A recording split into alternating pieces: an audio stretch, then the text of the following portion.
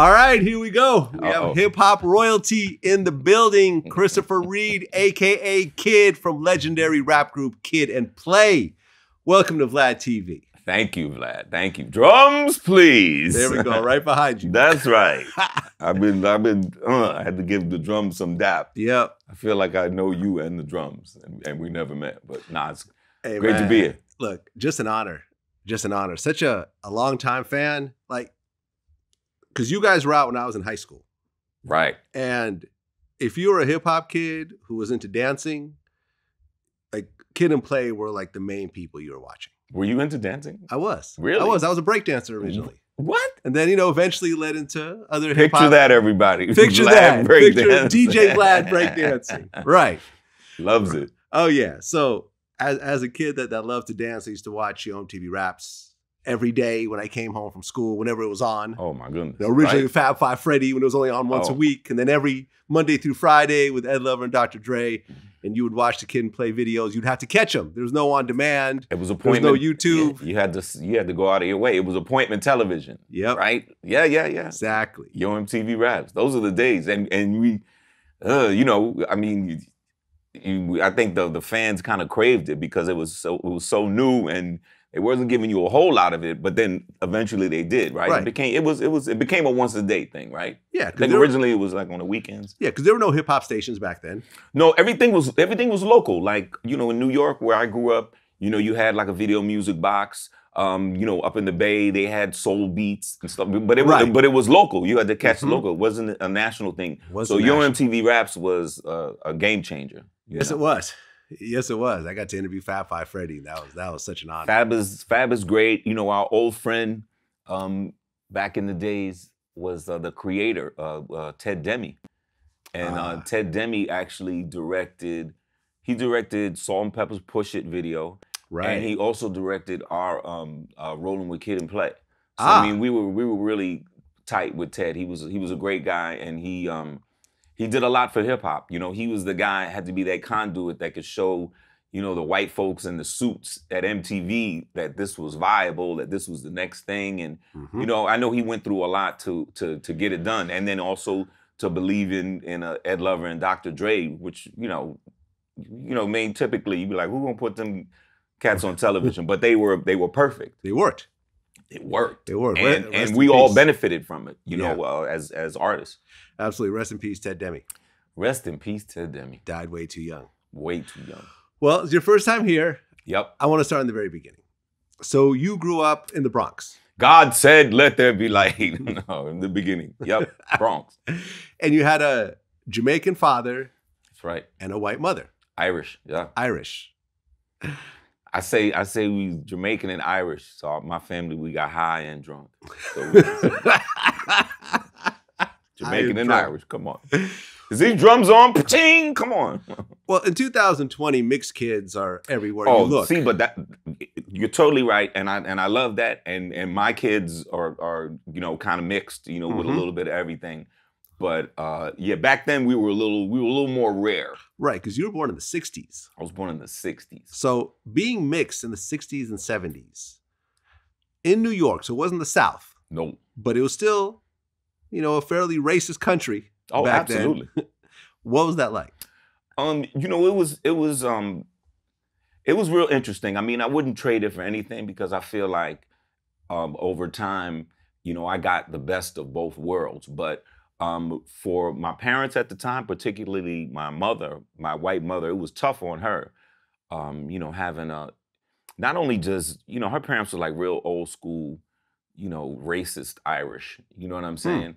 And, you know, much less her dating a black guy. When she came home and told them that she was pregnant by the black dude, you know, they threw her out the house. Like they disowned her. Wow. They disowned her and never spoke to her again.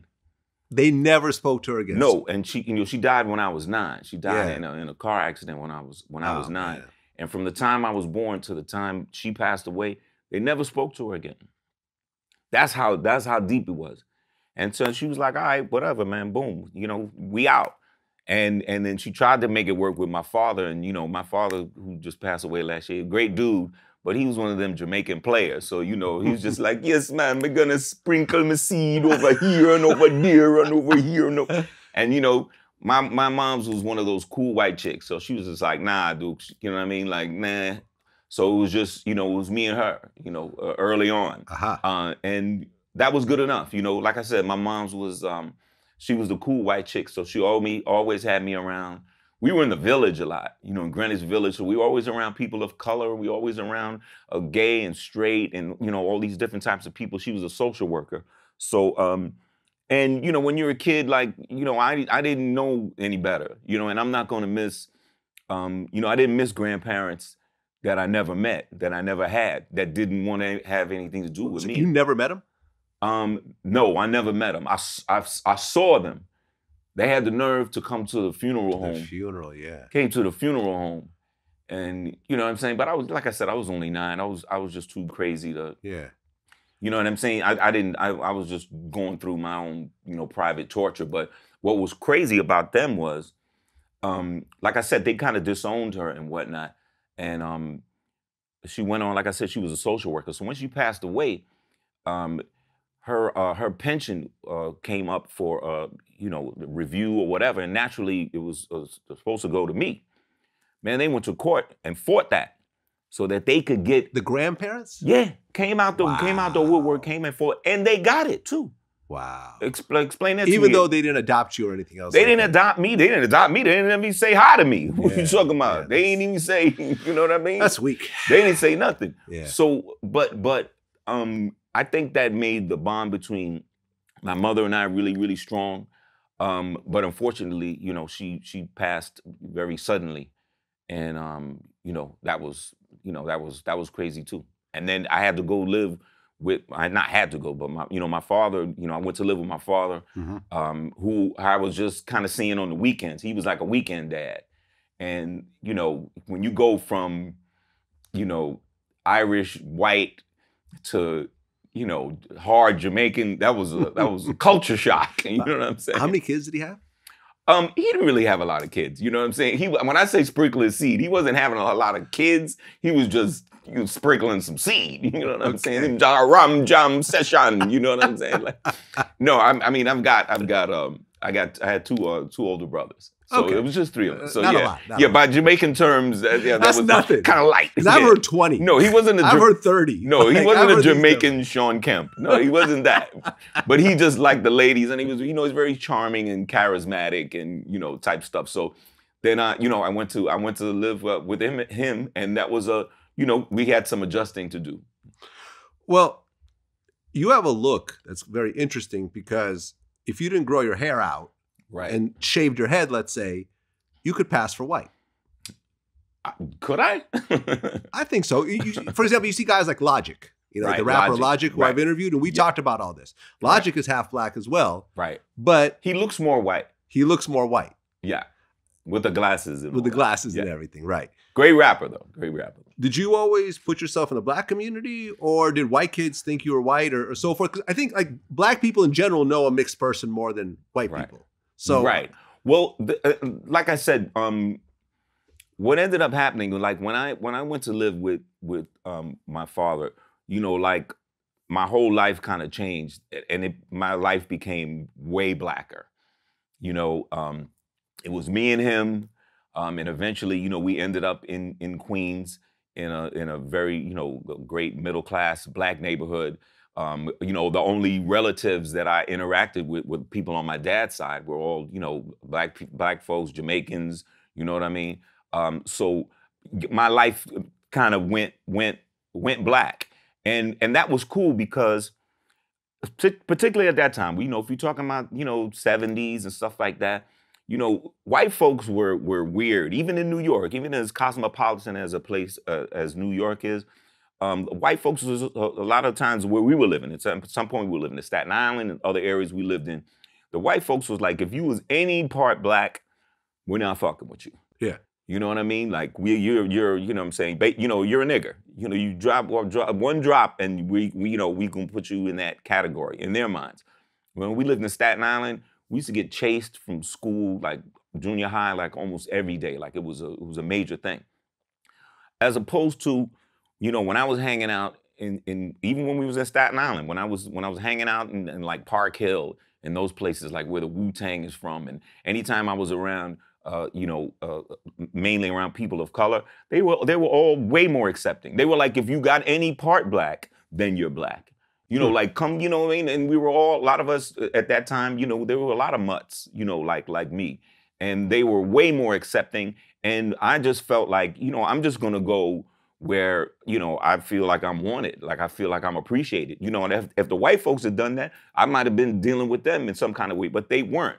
They were very, you know, very uh, uh you know, standoffish and hateful and all that kind of stuff. So and people of color in my family were just like, you know, my, you know, my, they used to make fun of me. Come here, little bitch, boy. Uh, look at that. you know what I mean? Like, and they, you know, the Jamaicans are just a fun-loving, passionate people, and um, I can remember early on being with with uh, my Jamaican family, and they would send me to Jamaica for the summer, and I would go there. The first few times I went there, I didn't understand what anyone said. Your patois was pretty bad. Oh huh? my God! They and I, and but I was you know I was a little actor back then. I was just trying to play it off. You know what I mean? They said, "What boy got to tell him when I'm going by the road and I'm thing? What what you gotta do?" And I'm like, "Well, there you go. you know, you just gotta, you know, you just gotta play it off. Well, there we are. And then, boy don't anybody know? We have a scene. I'm gonna go what's that? You in your mana. But after a while, you know, you're you're you know, my ear got Yeah. you know, my ear got better and but it was always, you know, it was always um it was always love. And so that that's what I was attracted to. So that that and that's how I grew up from the age of 9 on. Uh it was it was um it was, you know, all black everything pretty much. Okay, so you went to Bronx High School. Bronx High School of Science. Aha. The Bronx High School of Science, the prestigious Bronx High School of Science. You know about all the famous people that went to Bronx High School of Science? Let me hear about it. You know Jon Cryer went to the Bronx High School Science. Okay. Jon Cryer. He was a couple years ahead of me, I think. Yeah. yeah, yeah, yeah. And lots of uh, Nobel Peace Prize winners and the secretaries of defense and Boom. look at and kid from Kid and Play. So you were like a really studious kid. You're you're a nerdy kid. It's, and I was. Yeah. I was up until I discovered hip hop. it all went downhill from there. Well, no, well, I, I think it went uphill. I, I, I beg to differ. I think Downhill in terms of Bronx Science High School. Oh, totally. Bronx. I terms of- barely got out. I Right. barely got. I had to do summer school like my last two years. you know, we were we had the answers. You know, the people always think like uh, at a school like Bronx High School of Science, which is very prestigious. You know, to this day. Um, but you know, some of the kids that were there, I mean, they were you know they were rich white kids. Um, and every year we had the answers to the regents. You know what I mean? Like we were, we were, they were scandalous. You know, so um, I think a lot of us were smart, but some of us were were smart and lazy. Um, but like I said, to me, like my junior, no, not my junior year, like my sophomore year was when I really um, got into hip hop, and you know, doing my best in in high school was took a back seat. But but then that was tough too because my father was he was tough. You know, you know, you know, Jamaicans is all education, right. He, education. right. He didn't come all the way here from Jamaica for you to be a rapper. yeah, I didn't swim all the way here. Swim all the way. That's what he used to tell me. He said, I didn't swim all the way to this country to have you act like a fool. Your hair look crazy. Like, Okay, so you were in a crew called the Turnout Brothers. right. Local local crew in uh, Queens, New York. Mm-hmm. And you were a rapper back then? Yeah, yeah, I was a rapper. Um, we had um, it was these local crews. You know, a lot of a lot of neighborhoods had them, and in the it was a neighborhood that Play and I grew up in. He was in a different group. He was in a group called the Super Lovers, Mm-hmm. and I was in another group called the Turnout Brothers. And you know, it was like you know, friendly, competitive type stuff. You would make up routines and you know, sing and rap in uh, in my basement in in our house, and um, you know, we had a lot of fun being just being creative. You know, we didn't know we had no clue or or think that it could go beyond our neighborhoods, and that's what we do. We did neighborhood shows, block parties, sweet sixteens, uh, you know, Flushing High School, you know, this and that, uh, and that was it. You know, you had to be, you know, we, we were hood famous. Right. And you guys formed a group called the Fresh Force Crew. That's Play and I's first group. Yeah. See now the uh, both our individual groups kind of disintegrated. You know, everybody could start doing their own thing and Mhm. or getting discouraged and whatever. And me and Play, even though we were in different groups, we would hang out all the time. Um, and so we were just like, well, you know, me and you should do something. We hang out every freaking day. Um, let's do something. And that that was our first. That was the first iteration of Kid and Play. We called ourselves uh, Fresh Force, Okay, now and we were very very whack. well, you were the the school kid, right. but Play was a stick up kid. Yeah, he was a stick up kid. He was a stick up kid. He was a ne'er do well. He was um I think I think I think he ended up going to like five different high schools. Like he went to every high school in our zone and then finally ended up getting his GED. Um but yeah, we were we were kind of when we first met and started kicking it, we were kind of like polar opposites. I was really nerdy. I had a big afro and thick, thick glasses. You know what I mean? I was just like- Afro first. I had a huge afro and I had the Coke bottle glasses because, you know, my family is blind as bats. and um and and then play was like the real smooth, suave, you know, all fresh clothes, all kind of stuff. the rayon. he had everything. He had the Lee, he had the Lee jeans with the permanent crease. Oh and- yeah. and he was an artist too. He could draw really well, Nice. and he would um, with the bell bottom joints. They had a lot of room, so he would put these designs on the bell bottom. He did that Mm-hmm. for himself and for people in the neighborhood. Like he, he was fly. Before I met him, I used to see him at the at the park jams. I'd be like, yo, that dude looks cool, man. Like the whole then they whole crew, him, Herbie Lovebug, all those guys. This is before I got in with them. You know what I mean? I was Mhm. just kind of checking them out, and um, you know, we just kind of we kind of discovered each other. Well, didn't you and Salt-N-Pepa all work at the Sears together? Yeah. Now I didn't, we didn't all work there at the same time. Um, this was like a Sears and Roebuck at service center where they like call you up and Mhm. say, ask if you want a maintenance agreement or something like that. Um, Play worked there first. Then I got there. Then I think Hurby got there. then I think me and Play got fired. Then Salt, you know, Salt-N-Pepa, Sandy and Cheryl came there. And um, and then across the street, there was a gas station across the street that Martin Lawrence worked at. He used to pump gas at the Hess gas station across the street. Wow. And then he got fired from there and ended up working at Sears too. So I don't know, we all worked there at the same time, but at one point we all worked there. But and we all became friends. Like, you know, Hurby was was dating Salt and they were Mhm. starting to, you know, make music and stuff like that. But yeah, we all knew each other way before any of us popped. Right. And Salt-N-Pepa came out first. Salt-N-Pepa came out way first. Way first. Thank And God. Hurby Luv Bug produced them. Hurby Luv Bug invented them, produced, Produced them, them, introduced everything. them. Because when Push It came out, Right. that was out of there. That was, I think, was that the biggest female hip hop record at that time? I mean, by that time? Absolutely. Because that was bigger than all the MC Lyte stuff and everything. Oh, absolutely, absolutely. No, and before that, you know, they had made a name for themselves, you know, just in the tri-state area, you know, with the, you know, they did a, a, a answer record to uh, Dougie Fresh's The Show called The Showstopper.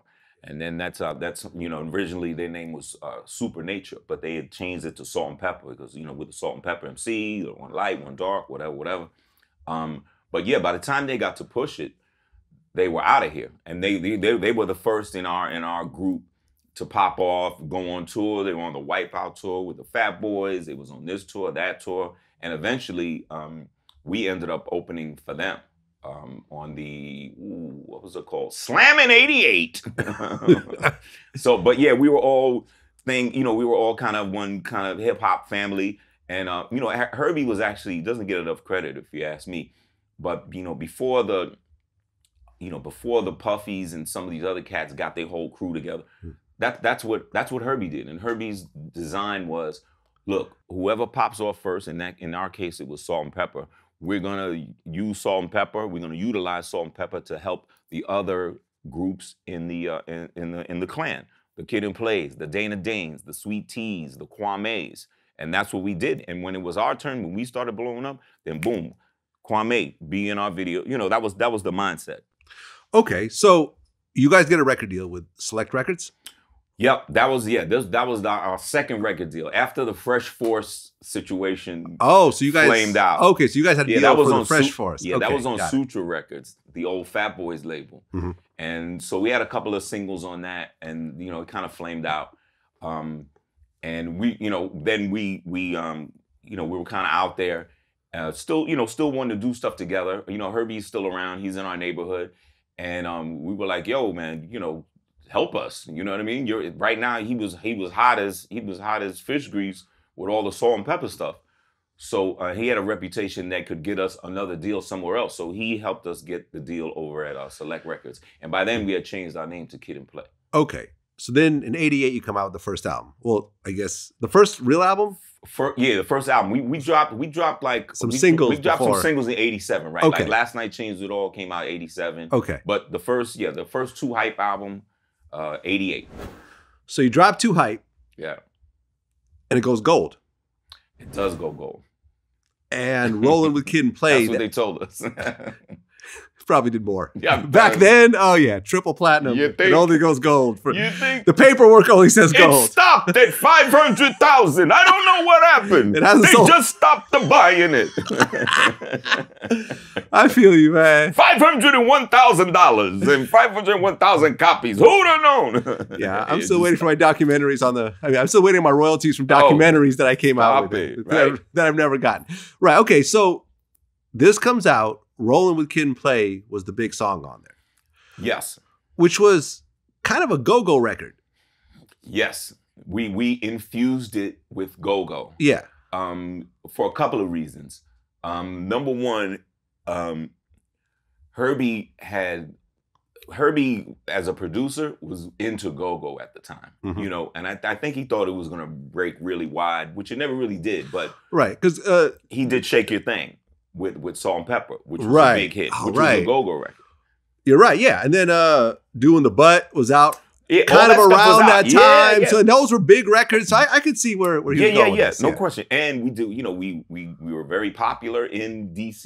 You know, we were doing I a lot bet. of shows. You know, DC, uh, Philly, you know, New York. We had all that. Connecticut, we all had that on lock. So um, Hurby had Go Go on his mind, and I had the idea to flip uh, this old R and B record um, by a group called Ripple, and so we just kind of, you know, we just kind of combined it. So um, you know, we put that, you know, with that Ola Ola A with that with that go-go swing on it, and it just worked. And you know, we're talking about 88, 89. That's when that's when go-go was bubbling, where people thought maybe it had a chance to kind of to, you know, really break out, uh, which it never did. But um, yeah, to this day, that's our that's our closer, man. It's your biggest record. It's it's our it's our big it's it's it's our most popular record. You know, I don't know. I think maybe ain't gonna hurt nobody. Maybe might have sold a little bit more, Yeah. but but um, you know, people want to hear that ola ola a and you know, kick your feet together. Good night.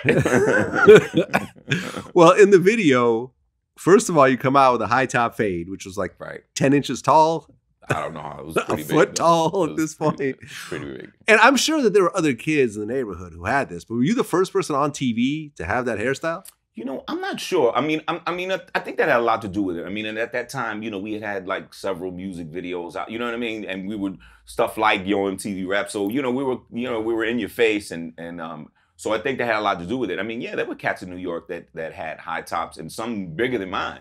But I think I think it was a combination of, you know, the hair, the how he had it. You know, this crazy looking face. You know, like man, you know, the eyes, everything. You know, this is just like.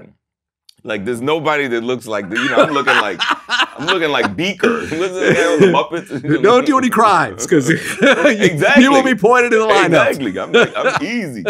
Um, so I think we had a we had a and then I think you know because we were you know we were, we were doing the dancing and you know play was was kind of like our our our wardrobe you know our kind of uh, um, fashion dude. So he always had us in some fly shit uh, and um, you know it was weird the the mentality and, and that we had back then. I, I see I see a lot of artists today when they come up it's right off the rip they just like you know, look like us, dance like us, act like us, do everything like us, be like us.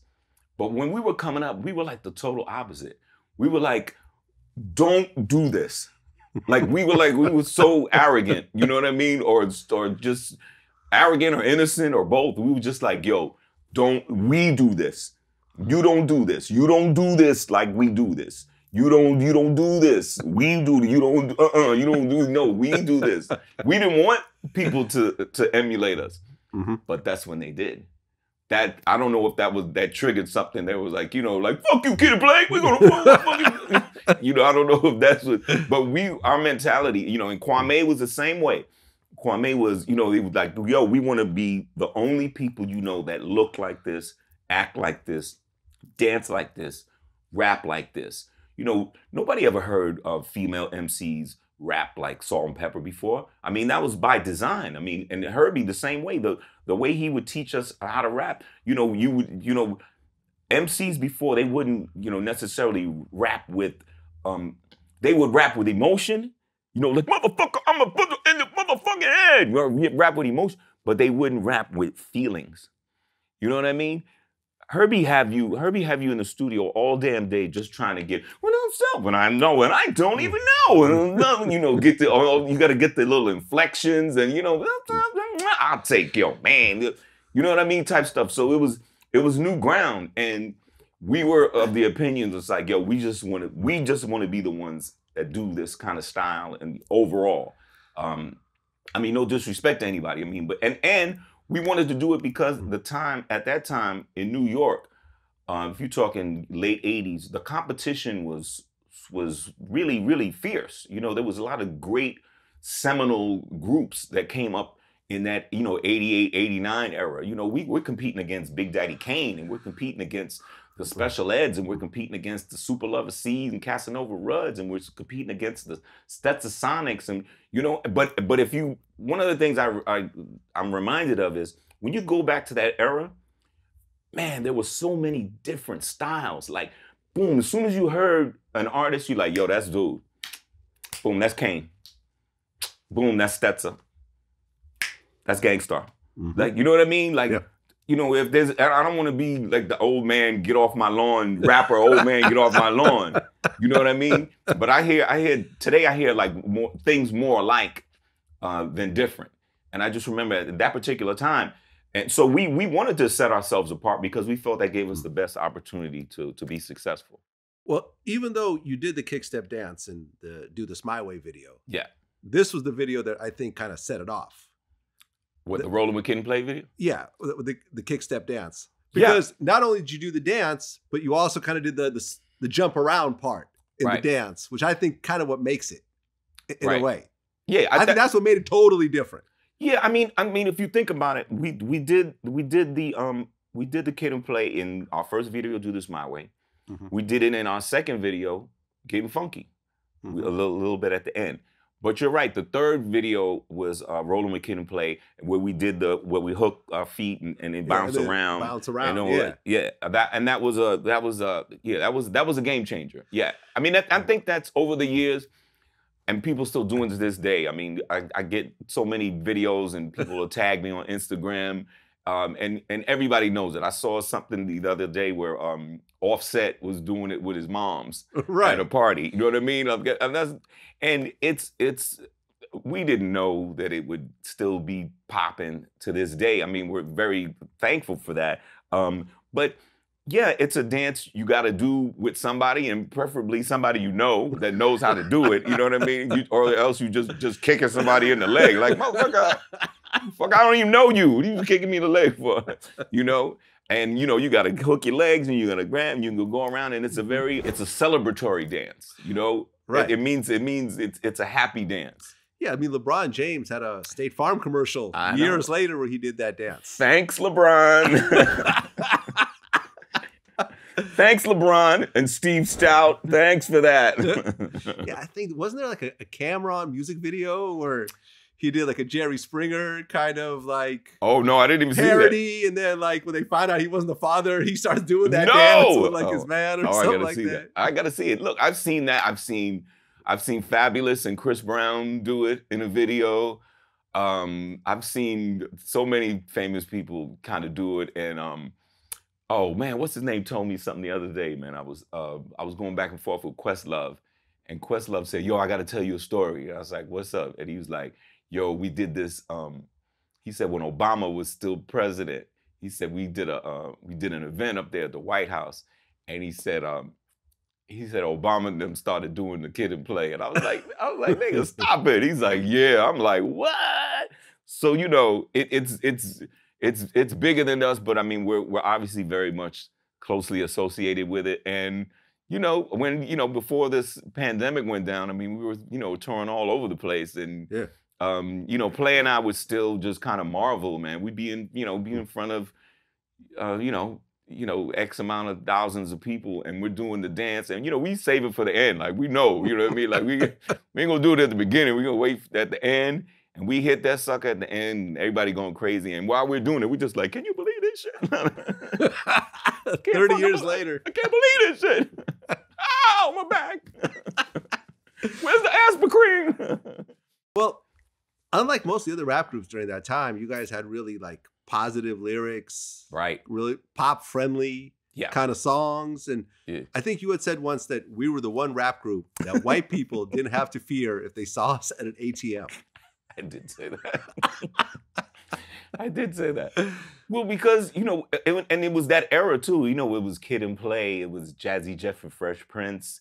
You know what I'm saying? Mhm. And and and it was by design. First of all, it was who we were. Like we weren't hard rocks. Like you know, we our neighborhood. Yeah, Well, play. yeah. Well, was yeah, but he, robbing by then, by then, yeah, but by then he had seen the light. Okay, Okay, I so you got yeah. stopped that. You had Yeah, I got him into GED, everything. I was like, dude, your your way ain't working. I said, you need to, you know what I'm saying? Yeah. Stop selling crack and crack a book. Let's go. So, uh, so so play was no play was off that by then. He was he was you know well on his way to you know uh, living positively and you know that's the thing we were into at that time. We we loved music, um, we loved fashion, we loved to dance, and we loved girls and that's and so that's what we talked about and um we we and we could we felt like we could talk about that intelligently and you know we couldn't you know anytime we try to do like some really hard hard record it just fell flat like people just like Nah. Not really. You shot who? you going Okay. what you know what i'm saying what you got what shot you had vaccine Well, so you come out with this album, 2 Hype. It goes gold, and now you guys are are known. And was it right afterwards when the animated cartoon came out? Um, no, actually, that the, the animated cartoon came about um, after um, House Party came out. Oh, that came later. Yeah, that came later because that that after, Uh-huh. after House Party, that was that was the, the second game changer. Got it. Okay, so let, so let's go ahead and just do this Yeah. in order then. So after the first album comes out, Yeah.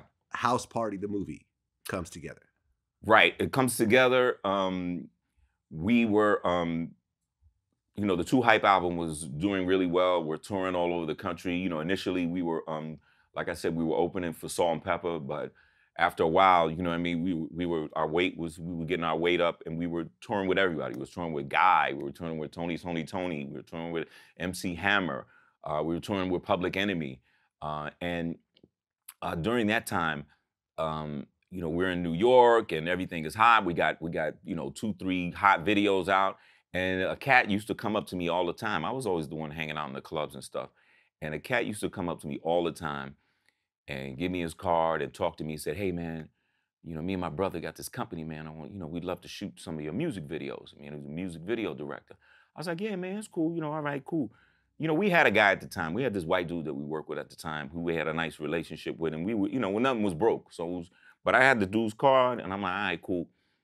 And then another time he comes to me and says, hey, man, I got a movie script. I wrote a movie script that I want you and play to consider.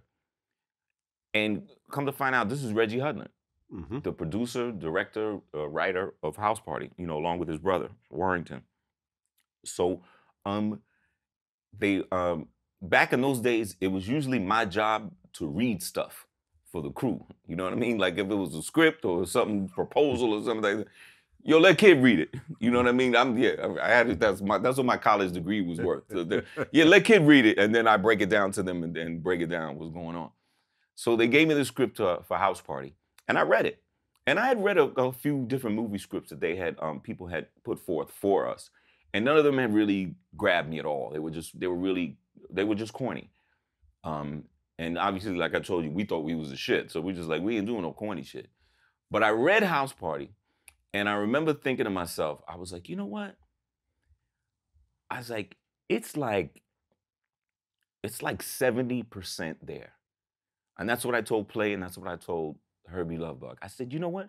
It's like 70% there. It's like the best thing I've ever read that, that had been submitted to us. And I said, I think we can get it the rest of the way. I think if they let us do our thing and bring, you know, some hip hop credibility to it, you know, whatever we could bring musically, lyrically, uh, style wise, culturally, that we could get it there.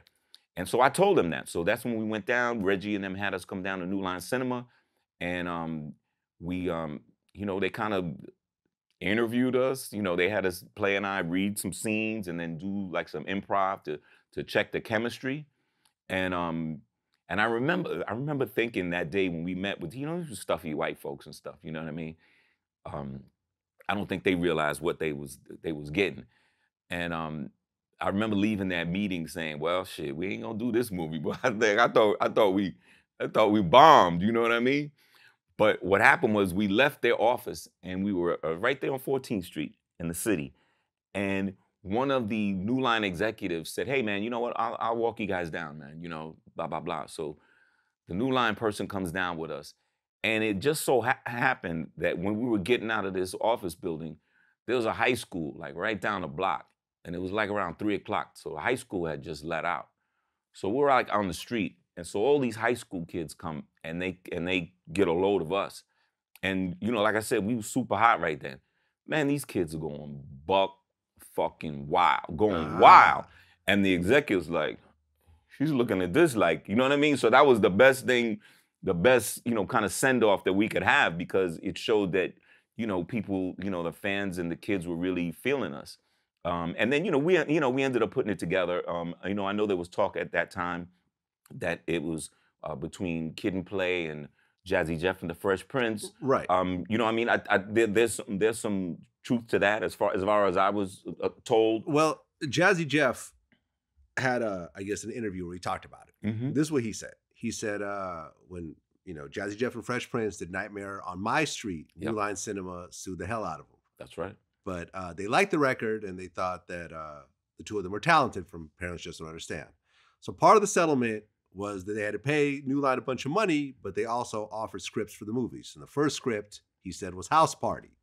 So if you think about the premise of House Party, one dude was a DJ and one dude was a rapper. So it was set up for Jazzy Jeff and Fresh Prince. We were thinking about doing movies back then, and then Kid and Play blew up off of that. That yeah. was Jazzy Jeff's version of that story. Yeah, no, no, and I love Jazzy. No, that sounds that sounds very accurate. I mean, like I said, I knew we knew that there was beef between New Line and and Jeff and them be, behind that song, and so you know, it, it you know, it, it, came out in kind of different ways. You know, I, I, you know, if they passed on it or or they were just like, we don't want to fuck with you, New Line, because we we we're, we're in mm-hmm. litigation, you know, or we yeah. just went through something with y'all. So, but look, those things have a way of happening. Like, you know what I mean? Like if they passed on that and we got it, that was amazing. You know, we had a we had a television deal at NBC before Fresh Prince. Right. And we turned that down. And they end up getting that. Right. How'd that work out? Yeah, you know it's kind of it went, it went back. Yeah. I was going to talk about that, right? Because I guess yeah. later on, when you guys had the animated uh, oh, cartoon. God. Don't get me started. right. When you guys had the animated cartoon, after one season, it was canceled. That's right.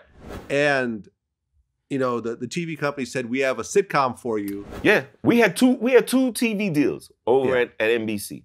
One was for the the animated uh, cartoon series, Kid mm-hmm. and Play cartoon.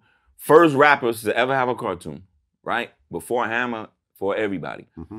And we were so proud of it, man, because you know we were like young kids, you know we were cartoon kids, so we like, motherfucker, we fucking cartoon, you know what I'm saying? And we we loved it, but what happened was this was about the time when uh, NBC was flipping it, flipping Saturday morning into live action. They were like, "Fuck these cartoons. We want to do the Saved by the Bells and you know those kind of shows." They they started calling it TNBC and we kind of got caught up in the in the middle of that. Like I mean, the cartoon did what it did, but I think it was I think it was bigger than us. It was just like, look, we we getting we're not doing cartoons no more. We're doing the the the, the trend is to live action, mm-hmm. and we got caught up in you know caught up in that. And so we had the cartoon deal and we had a sitcom deal at NBC. Man, we're so, we're so emotional about losing the cartoon series Mm-hmm. that we told them, we told our people to tell Warren Littlefield, who's running NBC at the time, we was like, man, this is how smart we were, right? We was like, man, fuck your fucking TV show. You clip this cartoon, we don't want it. We don't want your sitcom. Fucking tear up the shit. We don't want to do a sitcom with you if you cut the cartoon. That's what we told him. And our management was like, you motherfuckers are crazy. what the f- you fucking Queens motherfuckers. And that's what we did. So they, you know what I'm saying? That deal went away. That's the deal that, and uh, Jeff and them, Will and them slid right up in that. That was the shit. We'd have had, we'd have had that shit first. We'd have had both. Oh yeah, Quincy Jones said, ah, How'd that work out? What, what happened, opportunity." happened to Will Smith? What, what happened to that guy? He does movies every so often, little bit, bit roles here and Right. there. Heard he had some kids. Yeah, married an actress Right. somewhere. Yeah, Ooh. Oh, something God. about entanglements. Anyway, I don't know. right. So Vlad yeah, gonna get me shot. so the sitcom deal that you guys turned out turned down ended up becoming the Fresh Prince of Bel Air, yep. and Will was That's out. my story, and I'm sticking to it. okay. Yeah, which was which which but you know what? It taught it taught me so many lessons. We've been doing this thing so long, right?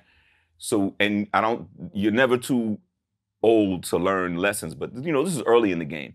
And one of the things that taught us was you can't make these emotional decisions.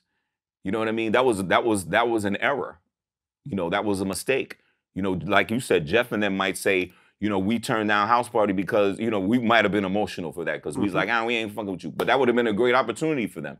I'm, I have no doubt if them two, if they did house party, it would have been it would have been a hit Oh, as, yeah. as well. Oh yeah. You know what I'm saying? And if we had did the the sitcom, trust me, I we would have did well at that. You know what I mean? We were always, you know, kind of on the same, you know, kind of level, kind of vibe. Um, but yeah, it taught us like you can't make these decisions rashly or emotionally. You got to sleep on it. You got to think on it. You got to think about the long term effects. Um, so yeah, that was uh, you know we we we blew that one. I mean, but we got you know we had other TV deals after that and shot Yeah. pilots and stuff like that. But that would have been a golden opportunity because the lane was wide open. There was nobody else there at the time. Well, you guys do House Party, and the cast on this is very interesting. Robin Harris played your dad. The late great. Ah man, one of the greats, one of the absolute greats. That would have been a monster Oh. if he had if he had lived longer. Stop it. Martin Lawrence and Tisha Campbell Mhm. were both in this film. Absolutely. Later on, they would do Martin together. Yeah, he stole my girl. You stole my girl, Martin. and you end up doing the Martin theme song, right? I did. Yeah. I did, along with a, a gentleman by the name of uh, Stephen Kitt. Um, yeah, because you know at the time, you know, this is when Martin and I were like super, super tight, Mhm. and um, I can remember him. uh, They did. He did the uh, pilot. Excuse me. Did the pilot for Fox.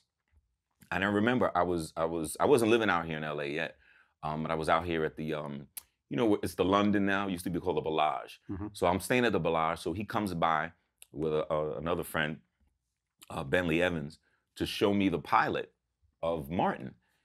And he puts it in, throws it in. I mean, he's in, he's in my suite. We watch it. I'm like, yo, this shit, this shit is dope. You know what I'm saying? It's funny. It's this and that. And Martin's like, yo, man, you need to be on, be on the show, be on the show with me, man. Come on, be a guest star on the show. I'm like, all right, fuck it. Yeah, you know what I'm saying? Then we're in the room, and it's me, Martin, and uh, Bentley Evans, and we just start thinking about like what, like what could it be? And I'm, you know, we're thinking out loud, and I'm like, well, uh, if I'm on and I'm being myself, why don't we have some way we gotta have Kid and the, that Shanae character, that girl character, have them like hook up. Maybe they maybe they go on a date or something like. So we Mhm. start putting together. He's like, all right, well, what if she go on a radio station and she wins a date and da da da da da. So you know, we just started putting together. So then we, you know, he and I were up. We're we're actually in my room. We're like, you know, kind of holding each other like we're dancing. And and, and I remember going through my mind uh, at at that time. Forever My Lady was super super hot record. So you know, my mind is a rapper, it always you always think of all right, Forever My Lady, Forever Shanae. You know what I mean? My mind works like that to, you know, how can I make, make it rhyme and make it, you know, it's the same mind that gives you all Ola Ola A, rolling, rolling, rolling with kid and play. So I'm like, like forever, forever my lady. For, no, no, call it forever Shanae. And then this and that. And then my man Bentley Evans, he had never written nothing before in his life. Not like not like that, like a like a you know sitcom script. And he's in the corner scribbling it down, getting notes and this and that. Two weeks later, I get a script at, at, my crib in in, uh, in Jersey. It says Forever Shanae. And came out a few weeks later to do it. And, it, you know, it became one of the most classic uh, episodes in the history of Martin. And, and it was, I think it was crucial because this was his first season you know and and that's you know it was really important for him to get through that first season and and be a success so you know when it came down i was you know that's how we all were like like if if a a friend, you know, if he asked me to do it, I was like, uh, fuck yeah, I'm gonna do it. You know, do I do I know how much I'm getting? Nah, it doesn't matter. Like you, my boy, we're gonna do this. This is your first season. Let's knock it out the park. Blah blah blah. Um, and, you know, when when it came time for him and, and, Tommy Davidson to come in some of our music video, you know, everybody helped each other back then. It was very mm-hmm. kind of community kind of kind of vibe. Um, but yeah, we did that. Um, we did that, and it became, you know, you know, it was funny. Years later, years later, um, me and Martin hooked back up, and um, I went to dinner at his house, and um, me and him was just kicking it, catching up and whatnot. And he had um, a couple of his daughters that were there, and you know they were so cute. I mean, I probably probably like nine or ten at the time, and they gonna throw in the, the tape of, of that Martin episode. you know what I mean? With me and him in it and, you know, all hugged up and whatnot. And they're just sitting there cackling at it. And then me and Martin look at each other like, can you believe this shit? Like, can you believe it? Like, you know what I mean? Once again, it's just like you never think at the time that these things will still be, you know, beloved and and uh, and sought out after all these years yeah. and stuff. But you know, people still do. So that's that's that's the beauty of it. it and it and it and it doesn't make I, you know, I can speak for myself and, and and play as well. It doesn't make it doesn't make us arrogant or or big headed. It actually is more humbling than anything else. It's just like, wow, like y'all, you really do like us. well, John Witherspoon was in that film as well. John he played uh, the angry neighbor, the public enema. Oh my God. Let me tell you something. One of the greats and you know, and I learned we learned so much from from you know some of the vets like like Spoon, um, you know John Witherspoon, you know Robin Harris's, um, you know the Reynaldo Reys, you know the Bernie Macs. You know when we had some some of the OGs that came and, and performed with us, we were always very appreciative and we learned a lot and we asked a lot of questions. And then you know when I got into doing stand up, you know I would run into uh, to John Witherspoon and he would always have something positive or something you know some advice that I could use. You know what I mean? So those those days were great. Like we weren't, you know, and we weren't even making a lot of money back then. You know what I'm saying? I'll tell you a quick story about uh, Robin Harris. You know, he and I spent a lot of time together because, you know, we were father and son in the movie. So, we, you know, we did a lot of scenes together and spent a lot of time. So back then, they would literally give you um, paychecks. You know, we had like paychecks every week. And so uh, one week we got our paychecks and Robin was like, "Yo, man, where you know what you doing? Where you where you going?" I said, "I don't know. I'm gonna go, you know, cash this check and shit." He's like, "Yo, come with me. Come with me." so he used to drive this 5.0. So we driving a 5.0. So Robin, he's gonna take me. Robin Harris takes me to the bank that he used to work at as a security guard. That's where he want to go cash his check. He come in, hey, you motherfuckers! I told you I was gonna make it, and I got a kid with me. like, I was like, where we going? He said, don't worry, motherfucker. We would have cashed these goddamn checks. And we went into some some bank that where he used to be a security guard. And they was coming in there and he was giving them the fucking business. Yeah, cash my check, bitch. What you talking about? I told you, right? Like, I'm rich, bitch. he would he would do stuff like that. We'd be driving around. He'd be talking shit to the cops. You know what I mean? He always had he always had a pistol. really? Oh my God. Oh, the wow. fucking kept under the 5.0. He had the pistol, pistol right here. Wow. Pistol okay. right here. We used to play, we all used to play basketball together too, right? It used to be me, um, Martin, Tommy Davidson, Tommy Ford, that was on um, Martin, mm-hmm. and some other friends. And Robin would play sometimes too. Like he wasn't a really good player, but you know, he just go, you know, get a, get a sweat. So one day we playing, we playing over there in Burbank, near where um where Martin lived, this gym. And it was something, we know we got into it with these with these cats, man, for some reason. You know, we start beefing and whatever, whatever. And some cats, you know, a couple white dudes, whatever like that, talking shit. And um, Robin was like, Robin was like, what? He said, he said, yo, wait, wait up, wait up real quick. Robin go out to the car. come back with the strap. He got the strap on him. He got it. He got gym clothes on, everything. He got the jammy. He got the jammy right here at the hip. And he's like, "What you said, motherfucker? What you said?" And they're like, ruh, ruh, ruh, and you know, he's like typical Robbie. I thought, I thought that's what you said, motherfucker. you know what I mean? He Robin took care of us. You know what I mean? Like Yeah. he took care of us. Like he roasted the shit out of us. You know what I mean? Like that. When we used to like it. We, we used to go like set him off. Like, hey, Robin, motherfucker, what you talking about? You know, we would want to get get cut up. You know what I'm saying? But he, you know, it was just a beautiful time. You know, like I said, we weren't making any money, but um, everybody from Robin, you know, Full Force were great. Um, Yeah. You know, Tisha, AJ, um, you know what I mean? Uh, Spoon. Uh, it was just, uh, you know, it was uh, they were. It was really the Wonder Years, and and Re- you know Reggie. Everybody's brand new. Nobody had ever. Most of us had never done a movie before, and you know we kind of trusted in each other. We had a we had a fucking blast, and we made history. Wait, let me tell you a quick, quick story. Quick story. This is right before House Party's getting ready to come out. Mhm. So um, the New Line calls us and they say, "Yo, man, we're doing a screening for um, these kids, these high school kids in Newark. Um, you know, they invited us to go. So I was like, ah, yeah, let's let's go. So what they did was uh, had us in this this old theater in Newark, and we were up in the balcony, so the kids couldn't see us. They didn't know we were there. So they're down on the floor and everything like that. And initially, we thought they were just going to show like a you know like a trailer or just like some clips, but they ended up showing the whole fucking movie. And so we're watching. It's the first time playing I are seeing the movie. So we're up in the balcony. They can't see us. They're down below. We can see them. And the, the movie begins, and man, these kids are going off. Okay, so the the movie begins, and the kids are going off, man. They're having a blast. They're laughing. They're up and down the aisles. They're, and we it was like, wow, this is crazy. So then it finally gets to the scene. There's a scene where, um, you know, I've been getting chased all night, and I finally I'm getting run away from full force and this and that. And finally, I I I, I get to a safe place, and then I see Play and Martin and the girls driving by in the little yellow car. And I'm, I'm like waving. I'm like, yo, yo, yo, like, you know, this and that. And Play drives right by. You know what I mean? And then Martin's like, yo, man, wasn't that Play? You know, Play's like, yo, man, you know, we ain't got time. We got to get to the party. And at that point, there was a young kid downstairs that jumped out of his seat and said, Play, you ain't shit. no, like it was so, it was so real to them. Like, how could you do your boy like that? Your boy is running.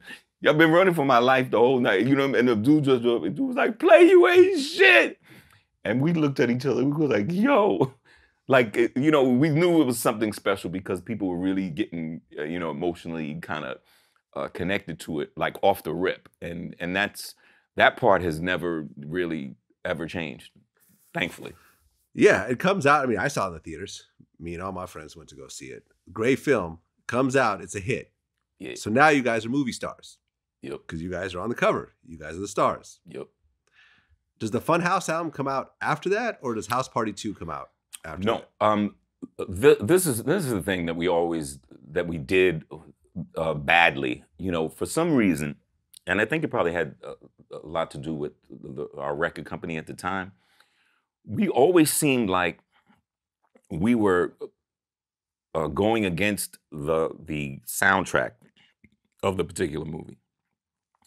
So House Party soundtrack is out, and I think we had a we had a couple of joints on that but we released Funhouse like around the same time.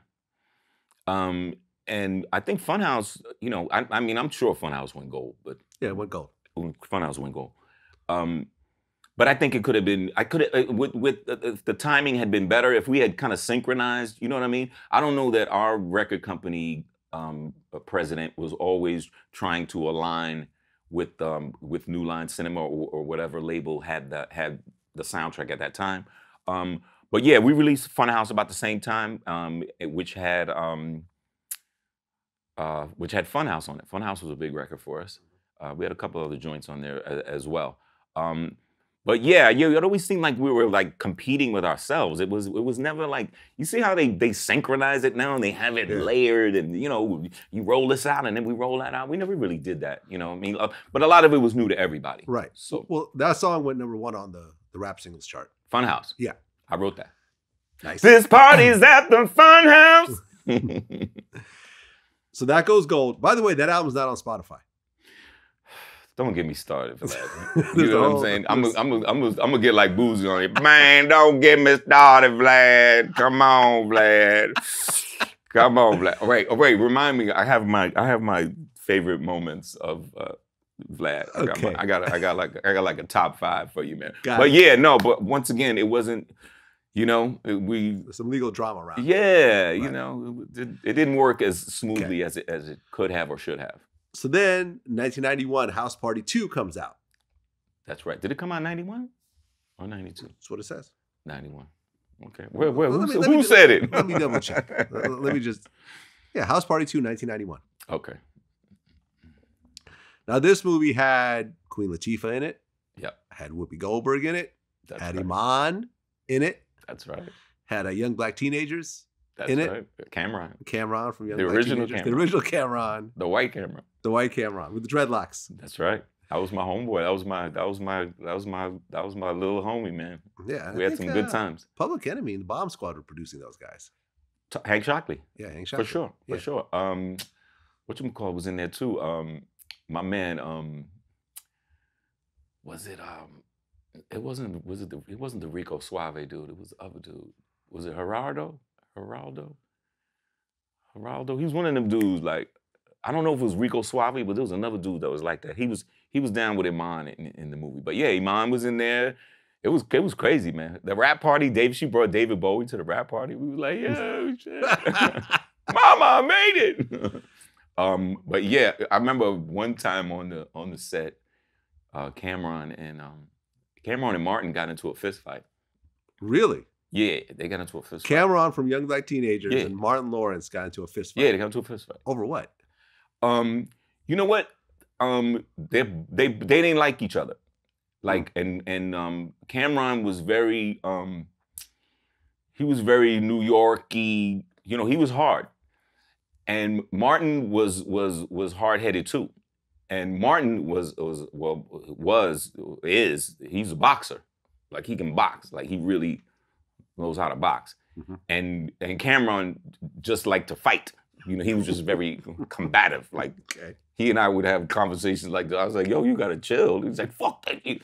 So we could see it brewing like over the over certain days. And there was one night we were out there, it was like three, four o'clock in the morning, we're shooting some shit. It's fucking cold outside, you know, downtown LA and shit. And you know, somebody said something, I forgot what what tripped it, but you could see it had been brewing. And them motherfuckers just started scrapping. Break them up. I mean, you know, it got squashed, but they were both very, very strong uh, personalities, and they both like, and they both like little. So they like, you know, they got that extra. Why I order? You know what I mean? You know, little dude. You know what I'm saying? Yeah. You ever see like that little dog? Like little dog don't know it's Oh, little. Yeah. yeah. Little dog don't know it's little. Little dog act like a big dog. So there were two little dogs acting like big dogs. They were scrapping. yeah, it was a, yeah, but they both, you know, that was that was still good times. And this film did well, not quite as well No, as the first as well. one, Not but well. but solid. It did like 20 million at the box we didn't lose no money. Didn't lose any money. Right. And, and So we, had, then, we had some hit records off that too. Yeah.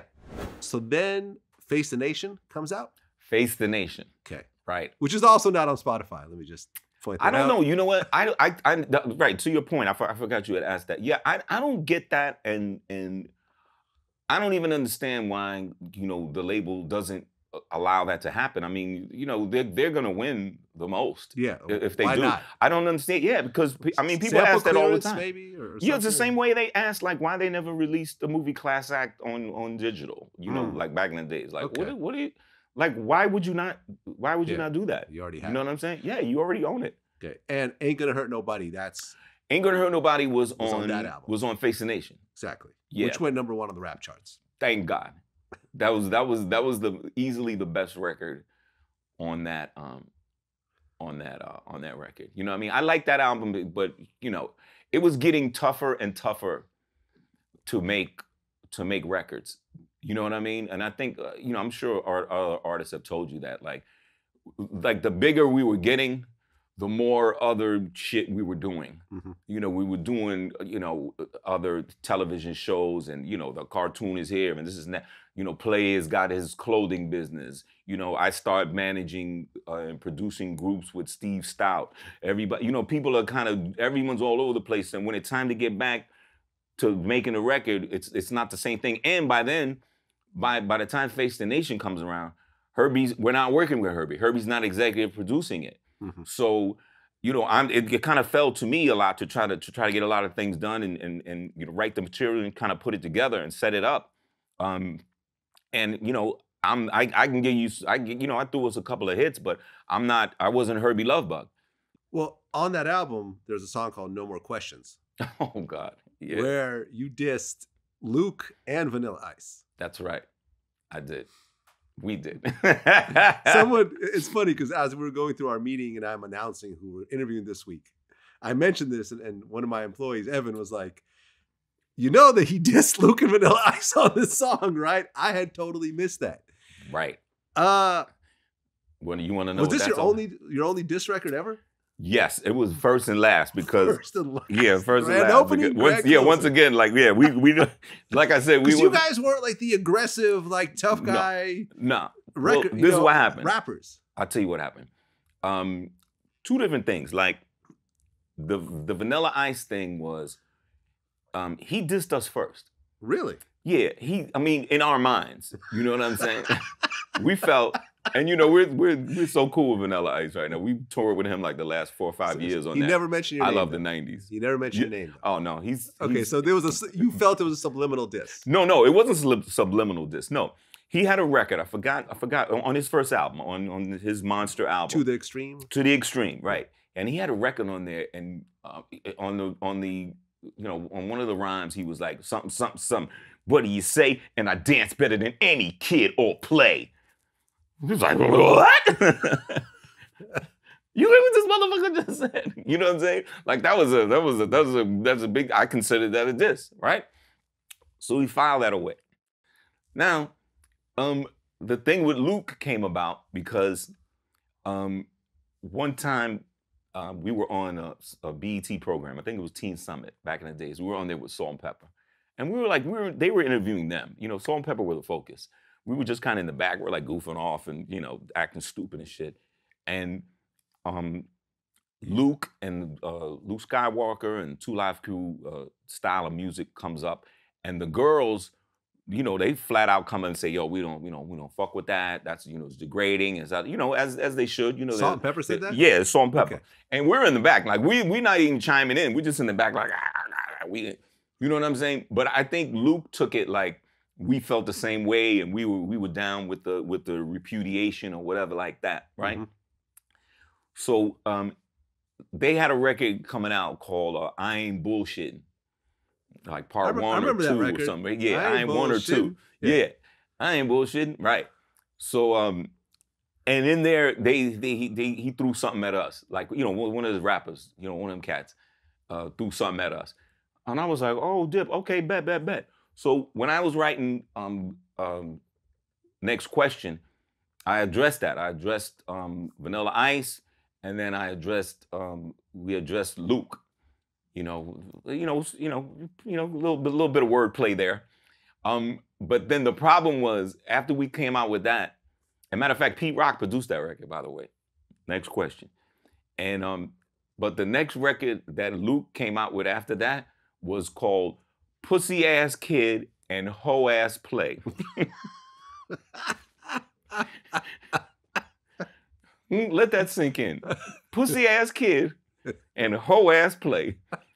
After that, I was like, we gotta quit this. We need to squash this. Because I ain't got nothing for that. no response. To I ain't got nothing for that. I ain't got nothing for that. I mean, what you know what I'm saying? We barely cursed. You know, we darn, darn Luke. You know, that's, that's the best we could do. But what ended up happening is we ended up squashing it, man. We had a lot of like, especially with Luke, we had a lot of similar, um, you know, we had a lot of mutual friends, and they were just, you know, they kind of just squashed everything. Now, you know, I see Luke now as It's love, and uh, and like I said, you know, Ice has been he he's been really really we've been really really cool last four or five years. Right, because remember when Luke was beefing with Death Row, that ended in a bunch of stabbings and all types of other Oh my god! violence and, and so forth. So thank Right, God. exactly. We gotta squash that. Yeah, You, know gonna what? stab Kid and Play? Kid and Play does not want to go that direction. You gonna stab Kid and Play? Who you stabbing next week? The Easter Bunny? What are you doing? but yeah, but but but it was it was a and but it was a different climate back then. I mean, even though it was the stabbies back then, but I mean, you see what these guys the cats doing today. This is Oh yeah. this shit is crazy out here, man. So then after that album, the movie Class Act comes out, Right. which was basically a house party type movie, but Mhm. with a different, a whole new storyline. Yeah. And it was a dope, you know, It dope was- movie. I, I went to the theaters to go see it. Yeah. Well, you know what? The thing about Class Act that was so um, interesting and was funny was that story really kind of mirrored um, Play and I and I's life Yeah. growing up. Like he was the thug, I was the nerd, and you know that's that's really you know when we read that script, I was just like, how the how the fuck did you get it down so accurately? And um, so yeah, and then we had a we had a great time um, doing that. That was uh, another first time director, uh, Randall Miller, and um, yeah, we we had fun doing that. And that's probably by then, and that movie was with was with Warner Brothers, so that Mhm. was probably movie wise, that was probably like our biggest biggest payday. You know what I mean? Yeah. We we hit him up for that one. Well, then House Party 3 comes out. Yeah, Bernie Mac is the in it. The public demanded it. Well, Bernie Mac was in it. Rest in peace. Bernie Mac was in it. He that- was natural. a he was Yeah. we knew we knew Bernie was a natural to um, you know not replace but to succeed uh, Robin Harris. You know, so he was easy to cast as as his uh, younger brother. Um, he's you know from Chicago like Robin, comic just like Robin, dark just like Robin, same vibe. Yeah. No, I remember when I interviewed Faizon Love, right?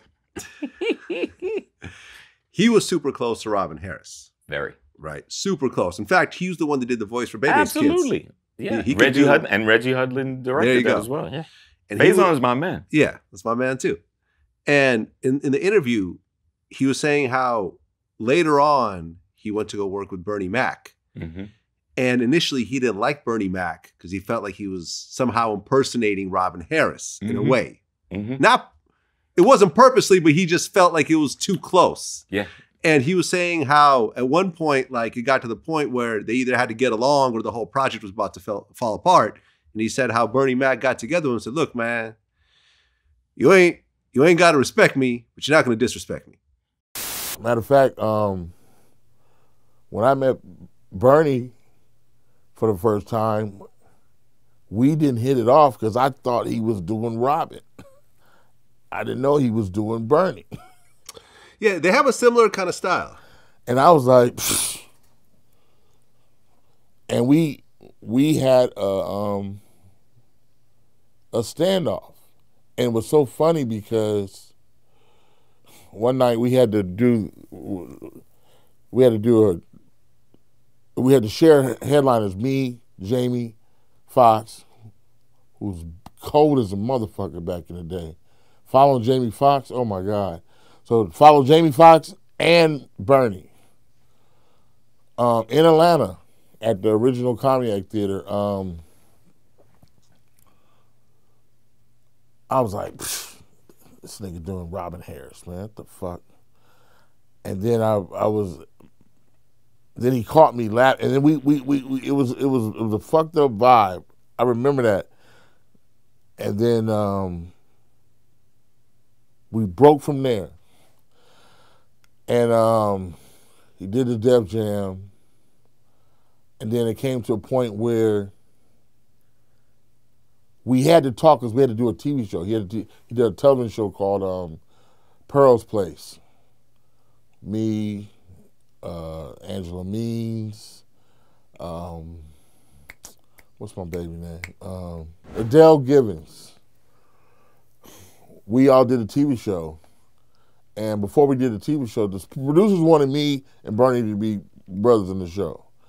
And Bernie's like, well, we, we got to sit down and talk because we got some shit to talk about. So he put me and him in the room and we hashed it out. and and it was really some some comedian bullshit. And he told me something I, I always remember. He said, "You ain't gotta respect me, just don't disrespect me." I said, "You motherfucker." And he said after that they just became cool, and then it was just all smooth sailing after that. Oh yeah, no, I mean, just I mean, working with Bernie was very similar to working with uh, with Robin. You know, I mean, I had a lot of scenes with with you know Bernie as well. You know what I'm saying? So we got to spend you know a lot of time with one another. Mhm. Um, yeah, they were very similar, and and uh, you know to to your point, and to I think to Faizon's thinking, I think he realized like, um, he it wasn't he wasn't maliciously trying to copy Robin. You know what I'm saying? Like, look, after Tupac died, you know, a lot of a lot of people fell in, a lot of rappers fell into that space Mhm. because that because that space was empty. You know, because because you, when you lose a giant, you know, a lot of times, you know, you know, cats need to come in and, and you know, if he's really great, you need more than more than a few to fill that void, like a Tupac. You know, like 89 motherfucker, you know, you know, X and Ja Rule and everybody coming out trying to fill that vibe. Um, um, and and but Bernie kind of did it, and I and I thought he did it in a in a uh, you know a respectful way. He did it his way, like he reminded you of, of Robin, but he was, you He know, Bernie. he, you know he had you Yeah. know he had his own little little tilt to it. Um, but just another great guy, you know, tells you know great stories. You know, Robin used to tell great stories. Man, one time Robin told me this story. He said, um, because you know we're sitting around, you know what I mean? You're sitting around all day, you, you know, hurry up and wait. And so Robin told me these stories, and he told me a story one time. He said, "Man, I was dating this girl. I was young and man. I was dating this girl, and she wanted me to come over to dinner and meet her parents. You know, I'm nervous, you know. So he says, he goes over there. And they have dinner. The mother and father, the girl, he's there, and they have dinner, and everything's going well. You know, everything's cool. And uh, they finish dinner, and um, then here comes dessert. And um, they bring out some pie. The mother had cooked a pie. So they have some pie and then eat the pie, and then they, get down to one last slice of pie. Just one slice of pie left. And the father's like, Robin, man, go on, go on have that last slice of pie. Robin, go on in. Robin, Robin said, No, no, no, sir. I'm, I'm fine, man. I'm, I'm full. Thank you very much. I'm, I'm good. I'm good. Man, Robin, go on and get that slice of pie, man. Mama done made that pie, man. Go on, man, go get you. No, sir, I'm, I'm, I'm fine. It was delicious. Thank you so much, but I'm, I'm, I'm good. I'm good. He said, man, will you, go, will you go on and eat that slice of pie? mom would have made that pie. Go eat that pie. And finally, Robin said, he's like, all right. Thank you, sir. I, you know, I will. I'll, I'll eat that pie. Thank you. And, you know, finish the pie.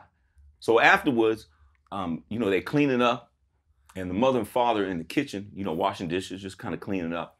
And Robin says he had to go to the bathroom, but to go to the bathroom, you got to walk past the kitchen. So he said he walking past the kitchen, and he hear the father say to the mother, "Can you believe that nigga ate the last slice of pie?"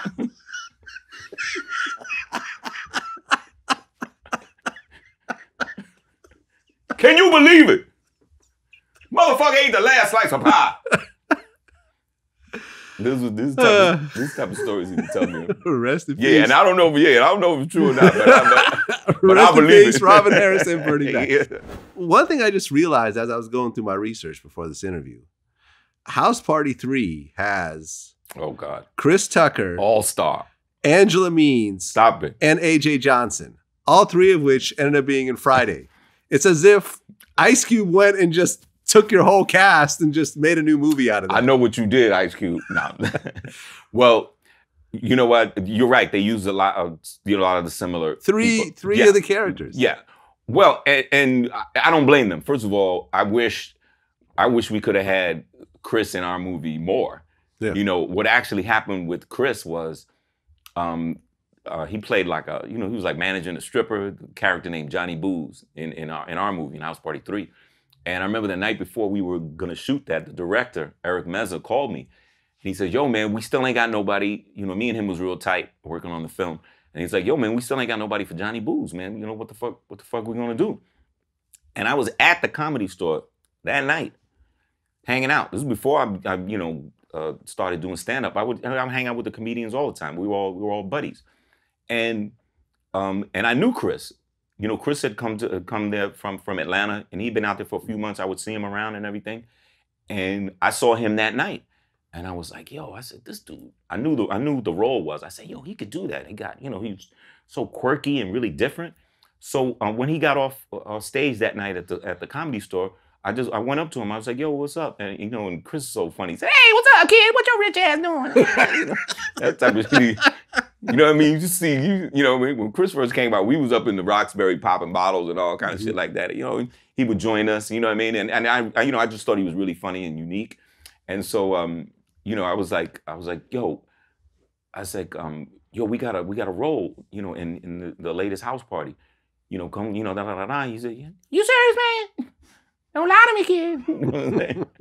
and so I hooked it up, and he went down the next day and shot his his scene, and he was he was awesome. He was great. Like just one little scene, and he, you know, he just popped. And um and and don't get me wrong. I mean, you know, Chris was out here doing his thing. He was gonna pop regardless. I mean, he was gonna come across Ice Cube's, you know, desk at some point. Yeah, but, he was doing but, Def Comedy Jam and yeah, everything. and remember, it's all New Line. Yeah. You know what I'm saying? Friday's New Line, house parties New Line. Mm-hmm. So that that's an easy, you know, that's an easy thing. And then, you know, Ice Cube obviously, you know, you know, picks who he wants to pick, and he he picks some, he picks some great people, man. Yeah. I mean, he had he had Spoon in there too. Shit. Yeah, right. Yeah, there you go, John Witherspoon. Yeah, exactly. And Bernie Mac. And Bernie Mac. Yeah, exactly. Matter of, yeah, hold on, hold on. Four, four people Cube. from House Party Three. Cube. I forgot about Bernie Mac. Cube. Four people from House Party 3 ended up in Friday. We're gonna need a check, check, check, check, check, check. yeah, but that's to me, that's to me, that's awesome because yeah. Um, and I'll never forget when I remember years later, um, I was in uh, we were in New York and I was doing something, we were doing something at the Waldorf. I was hosting some event. And um, I ran into Chris Tucker and his father. They were he was staying at the hotel. And um, we ran into him. He was like, "Hey man, what's up, man?" And he had his dad with him, and he introduced me to his father. He said, "Hey man, this kid, man, kid put me in my first movie, man." You know what I mean? And and now you know, when anytime I run into Chris, um, you know, it's always love. And to me, that's that's that was one of the great things about those house party movies. For a lot of people, it was their first time to pop mm-hmm. off and do their thing. I mean, look, um, we knew, we knew Martin was going to be a hit. We knew it.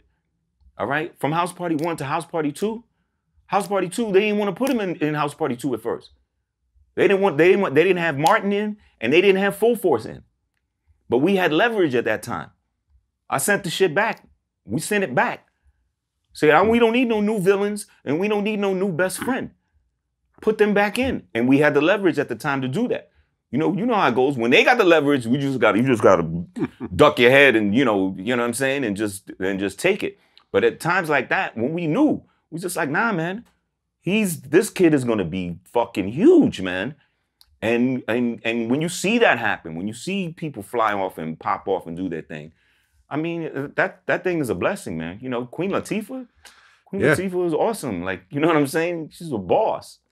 Right, because uh, TLC was in House Party Three as well as uh, Sex as a Weapon. Sex as a Weapon. They were they were they were amazing. They were they were great. You know the scenes they had. They was just they obviously their chemistry was great. But you know there's a there's a really funny scene where Play and I are trying to convince them to sign with us, our little management company, and they're just riffing and they you know and Play and I are you know it's just really really good stuff that um thankfully uh, you know, and I'm I'm I'm my own worst critic. You know, we're our own worst critics. But I'd be damned if them them joints hold up to this day, man. There's a reason why. Man, you throw on BET, man, they'll throw the three house parties like back to back to back. They ain't doing that if people don't like them. They're not oh, yeah. doing that if if advertisers aren't responding to them. If they can't get the ad revenues that that they're, mm-hmm. they're accustomed to. So that's you know that's crazy. So when I when I look at stuff like that now, I just you know it's you know you, there's a lot of fond memories and a lot of laughs. Right, because then l- way later in 2001, House Party 4 came out, oh. which had nothing to do with anything that you guys had done previously in the movies. We wasn't even in that. We weren't one. even in it. Then House they asked. They asked. They, you know what? It's, it's weird. What you call it? Originally, they stepped to us, and New Line said, "Yo, we're gonna get Andre Harrell, the the late great Andre Harrell." who I went to college with, by the way, mm. um, in New York. he was gonna produce uh, the next House Party, House Party Four. Um, but and it, and it wasn't just all on Andre. It was it was the it was the the the film company as well, New Line.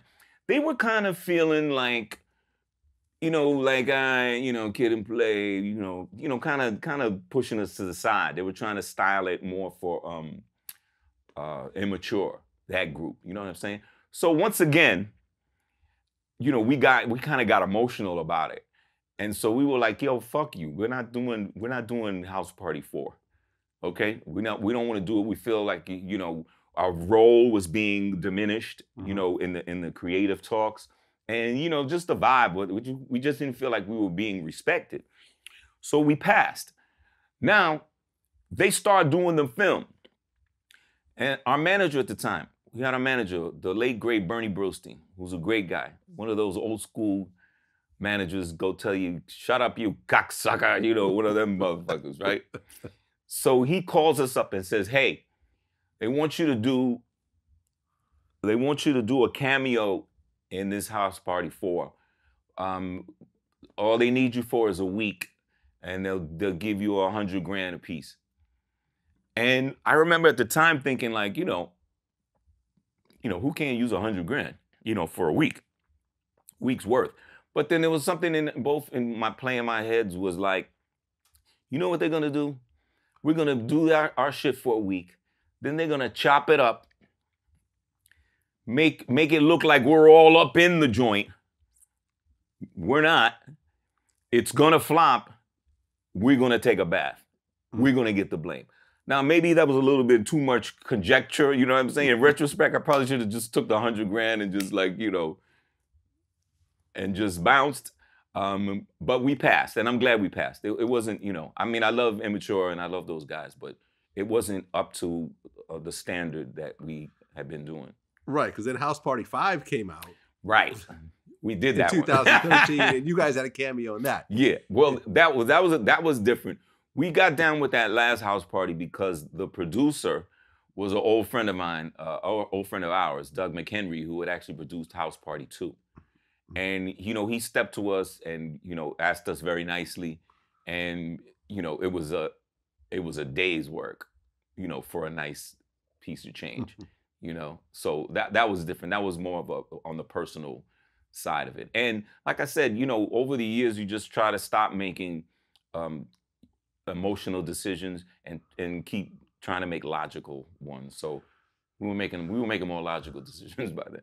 Well, in 2011, uh, you got arrested for missing court dates Oh. for a DUI, and then in 2012, like the same thing happened again. Uh, no. Um, no, I think I think initially uh, I I got arrested. I got arrested for a DUI. Mhm. That was the first one, and then they came back and got me after uh, I missed a, a court date, and that was like that was so wild. Um, I was at I was at home, and I was actually getting ready to go to an audition, and so you know I'm dressed up, I'm getting ready to go, and then I, I hear I hear a you know boom boom, and I look outside the um I look outside the um the door, and there's like there's like three people outside, and usually that's usually like when packages come, like delivery, Mhm. and so I'm like, wow, this is, must be one hell of a fucking package. It's like three people that you know have to deliver this. So I open the door and they go, you know, it's like two dudes and a, and a chick, and they look real like official. And um, the the one guy says, uh, "You Christopher Reid?" And when somebody asks you like that, you just like, oh, like you just like roll, roll. and um, it was them. They came to get me because I had, I had missed a court date uh, involving the um, involving the, the DUI. Mhm. So um, the interesting thing about it was they were like they were like super nice. Um, they didn't they didn't cuff me like right away. Um, they took me to the car. I guess they had to cuff me in, in the car, and um, they were taking me to uh, the local uh, precinct. I think it was on um, like Wilcox or something like that. And so you know we're driving, and I'm in the the one guy is driving here. The the lady cop is over here, and then there's like a younger um, uh, Latino cop that was sitting right next to me. so um, you know, I'm sitting there and I'm looking. I'm just, I'm just trying to figure out. Like, I was like, wow, this is this is effed up, man. Like, you know what I mean? Like, I fucked up. And but then I could feel like the cop next to me, like you ever feel like somebody's like like staring at you. You know what I'm saying? Like checking you out, checking you out. And so, you know, I finally look at him, and the cop looks at me and he says, "Hey, so uh, what happened to the hair?" I'm like, "Are you serious?" I was like, "Are you serious?" I was like, so I was like, so we started chit chatting. You know what I'm saying? Man, they were so nice to me. They brought me to the precinct. They they took me outside so I could use my own cell phone, you know, to call up, you know, somebody to come mm-hmm. down or whatever like that. Um, and um, you know, occasionally the the uh, the cops would come out and they were just like, like kid, you know, they were just like so disappointed. And I was like, I know, I know, I know. You know what, you know what I'm saying? I should do your dance. yeah, exactly. So they at one point, well, like the head guy, the sergeant, comes out and he and he, they got me um they got me um got me handcuffed to a bench, you know, like with a bunch mm-hmm. of other motherfuckers and shit. And um, so like the sergeant dude comes out and he steps to me and he says, Hey, he said, What's up with you and TMZ? I was like, I don't know. What do you mean what's up with me and TMZ? He said, They just called here asking if you were here. And apparently there's some kind of law that says if you call up a precinct and you ask specifically if, if, they have somebody in custody, they have to tell you yes or no. Like, yo, you know, do you got Vlad from Vlad TV down here? They have to tell you. Mm-hmm. So so that means, and I'd only been there like 15 minutes. So that means the, the cat's out the bag. Yeah. You know what I'm saying? So I'm there and um um my boy comes down and gets me. I'm there, I'm there like all afternoon. They put me in my own cell. They gave me juice box and the paper. You know, what I'm in there like, I got the paper. I'm like, what the Dodgers doing? Man, what is going on here? You know, treat me super, super nice. So my boy comes and gets me. It's like about, probably about five o'clock at this point, 5 p.m. And I've got a show that night. I got a comedy uh, stand-up show out uh, Ontario Improv that night. So my homeboy comes to get me and he actually knows, he was my manager at the time. He actually knew uh, one of the detectives that work at the precinct. So he said, yo, man, my boy is, he's gonna walk us out, blah, blah, blah. I said, all right, fine. And at first, my, my friend wanted to use like the secret, yo, let's get the secret entrance so we ain't gotta, you know, because TMZ and them was outside. And I was like, nah. I was like, you know what? I said, let's not hide. I said, I'm sure they've been banging me all freaking day. You know, I've been there from like 11 o'clock to like 5 o'clock. So I'm sure they've been killing me. I said, let's at least get the last word as we leave.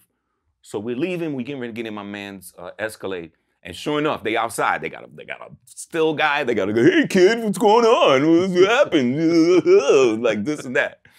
And so, you know, I was I was chill and I was just like, hey, um, and I'm out there. I got my boy here, I got the detective with me coming out, you know, whatever. I was going to an audition, so I was I was fresh, you know what I'm saying? So I come out and I was like, you know what? I just want to um, uh, just want to thank the um, thank the police. They were very very kind, and uh, this was this was an unfortunate clerical error. Uh, that's how this happened. I didn't say whose clerical error it was. you know what I'm saying? Uh, it was obviously mine, but I got the last word. We hopped in the car. The next headlines: Kid victim of clerical error. and but the funny part was, like I said, I had a show later that night.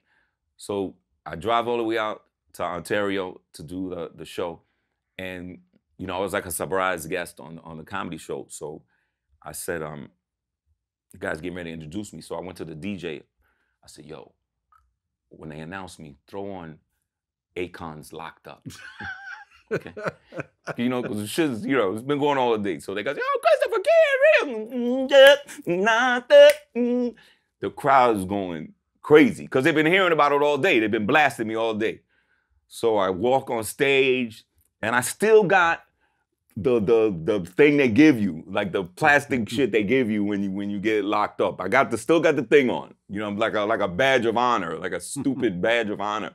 So I'm on stage and I don't even I ain't even step to the mic yet. I'm just standing there on stage. The crowd is they're laughing, they're going crazy, they're hooting and hollering and all kind of shit like that. This and that. And then finally I just say, I cut the cousin loose. And then I slowly walk up to the microphone and I said, And how the fuck was your day? and boom, they went crazy again. We had a great show. And but you know, that was just a real that was a that was just that was just dumb. That was just being. But you know, I cleaned I cleaned it up after that. I had to pay some fines, and mm-hmm. you know mm-hmm. what I'm saying. And, well, in 2017, uh, Jason Whitlock uh, had a show. Get to this. Oh, oh yeah. God. And Jason Whitlock, who had been bashing Kaepernick for for a long time, had a guy on his show that was basically impersonating Kaepernick looked like a white guy with a big afro and a big beard holding up like, you know, like the fist. And everyone's like, who the hell is this? Is this dude impersonating Kaepernick? And we found out it is yours truly. Yeah. Kid from Kid and Play. Yeah, no. no, no. Uh Charlemagne gave you Donkey of the Day. Can you believe that?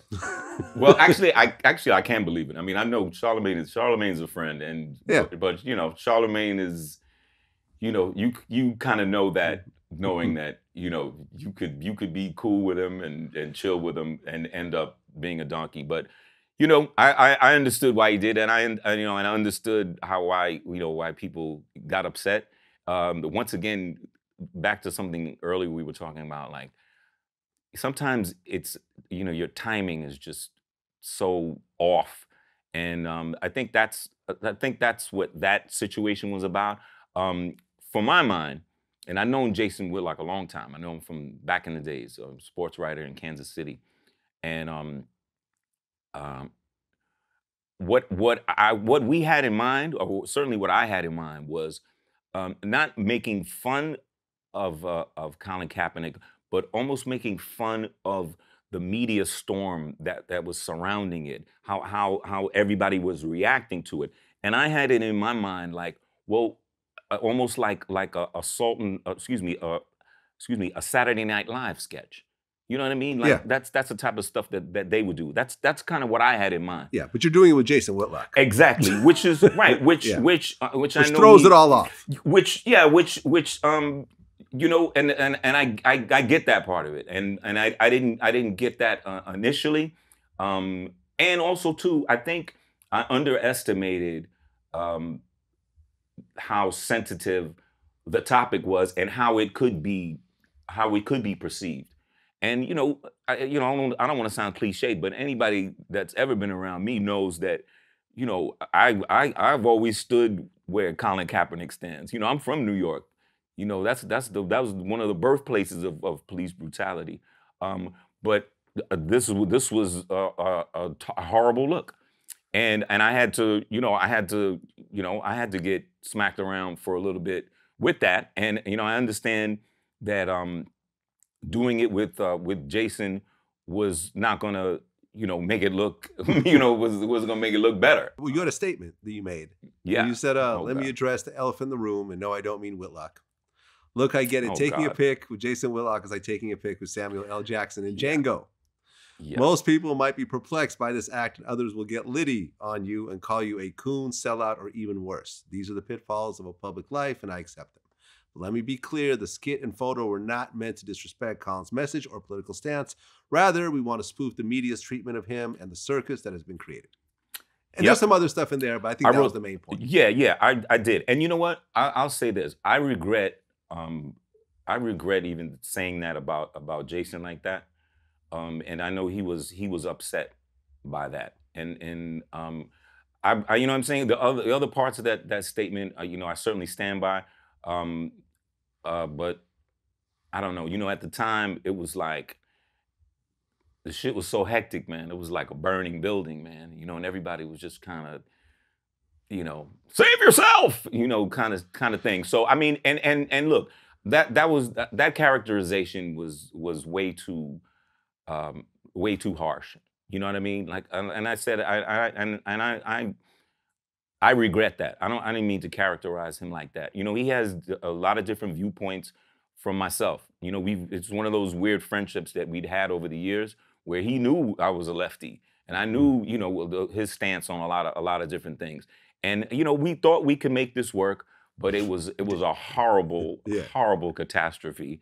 And um, you know, um, you know, but thankfully, um, you know, thankfully, I that had I, I had to weigh that up against of you know 30 years in the game and whatever you know credibility and and um, uh, honor that I had you know created over the years. So you know, and if you're you know this, if if you're in the game long enough, you're gonna bump your head a, Oh, ti- yeah. a time or two, Oh, and yeah. and that was that was definitely a, a head bumper, and um, you know, I, it's it certainly made me think, um, in you know, moving forward, how how you know we're in a different world right Mhm. now, you know, um, and you have to be, and as a public figure, as an entertainer, and as a comedian, as a comedic actor, um, you know, I'm usually really right on, but uh, that one that one went left, man.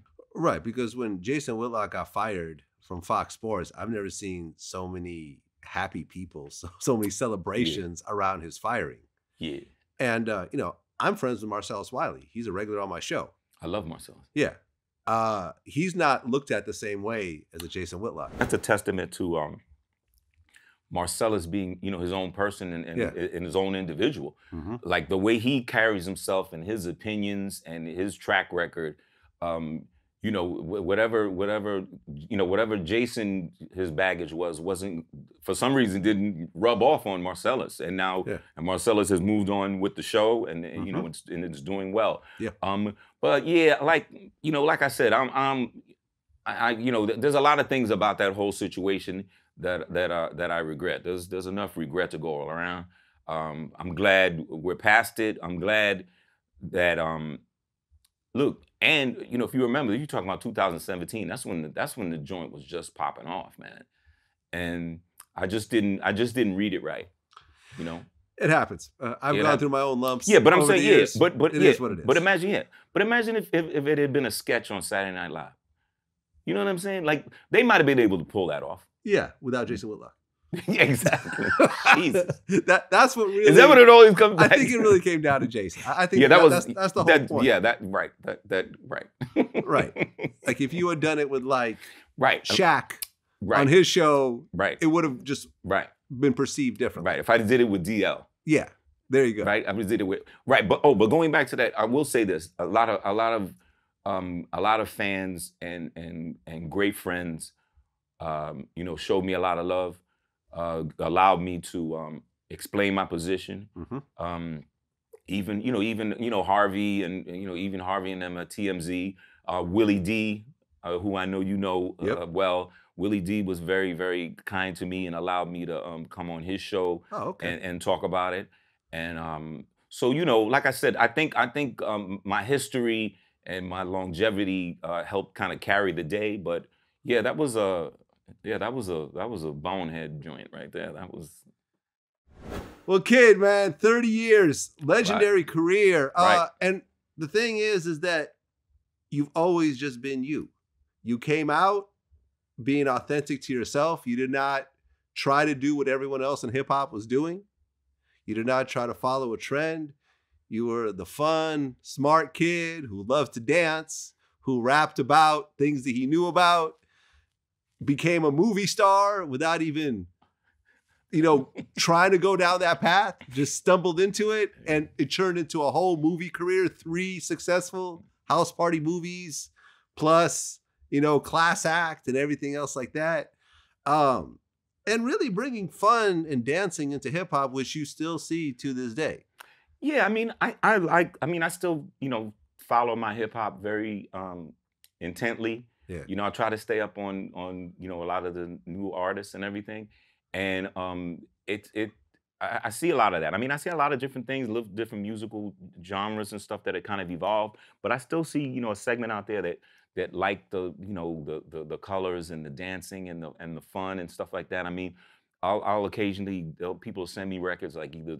Um, you know, the song is called House Party or the song called Kid and Play. I'll tell you, can tell you a quick story. There was these guys that they sent me. Um, occasionally, you know, young cats will send me um, music and say, "Hey, man, you know, you want to drop a 16 on this, man, or you know, whatever. Maybe you and Play want to do something." So I said, yo, man, you know, send me the joint, email me, email me the, the track. And so I get the track, and and, and the song is called Kid and Play. It's these two rappers. I'm, I'm, I'm, I'm uh, the name escapes me for for for the moment, but uh, but I remember the song was called Kid and Play. So I'm, I'm you know playing the joint. I'm saying, let me listen to this thing and see what's going on, and you know, it's jamming. You know, they rhyming, boom, boom, boom, going back and forth, and they finally get to the um to the hook, and then the hook's going like, "It's on the phone, the phone every day. I'm coming to make you stay. We don't what you say. We tag team bitches. That's that kid and play. Kid and play. Kid and play. We tag team bitches. That's that kid and play. I'm like, whoa, whoa, whoa, whoa, whoa, whoa. Not what I expected. I was like, whoa, bruh. That's what kid and play means to you? like, huh? I was like, first of all, you ain't never gonna get play on this record. that's a. That's all. That's off the rip. I said, but that's what kid and play means to you. Like you, you and your man's have sex with the same girl. That's a kid and play. like, come on, yo. You know, I appreciate the the, the, the effort. I don't know, but I'm gonna have to politely decline. Well, listen, man, uh, truly an honor as someone who bought your records, That's who went to your movies at the theaters, back when you can go to theaters. Uh, Yo, God. you know? They're starting to let people back in the theaters a little bit. yeah, I'm good. Yeah. I'll sit this in one out. China. Yeah, I'll wait till 2.0. exactly.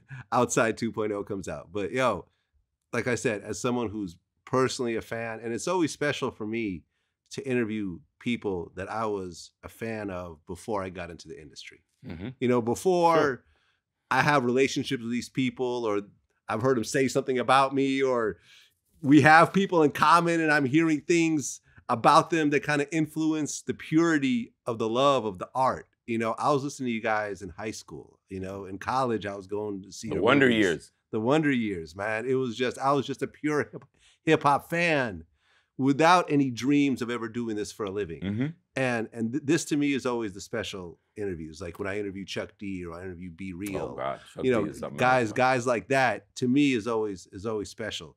And uh, man, listen, I wish you all the best. You have a you've had a hell of career, a hell of a career, and you continue to do your thing. You're still man. doing stand up. You're Yeah. still doing projects. You're still doing voiceover.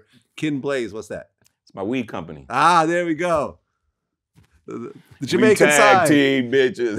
The Jamaican side's coming yeah, out. exactly, right? It, came, Blaze. came, came full circle, man. Truly an honor to sit down with you, man. Wish you all the best. That's what's up, bro. One. Peace.